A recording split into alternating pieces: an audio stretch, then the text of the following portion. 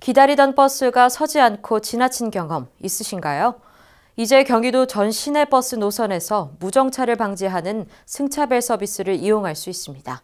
경기GTV 김태희 기자의 보도입니다.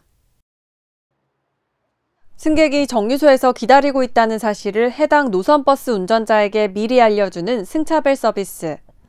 버스 무정차를 줄이기 위한 승차벨 서비스를 3월부터 경기도 전 시내버스 노선에서 이용할 수 있습니다. 승객이 스마트폰으로 경기 버스 정보 앱에 접속해 탑승 버스를 지정해 알리면 해당 정보가 버스 기사에게 전달됩니다.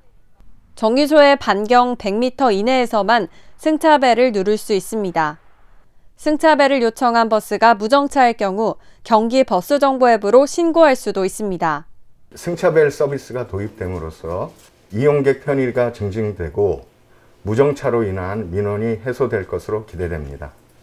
이용자가 적은 외곽 정류소나 야간 시간에 보다 유용할 것으로 기대됩니다. 경기도는 추후 버스 정류소에 승차벨을 설치해 이용할 수 있도록 할 방침입니다. 경기줄TV 김태희입니다.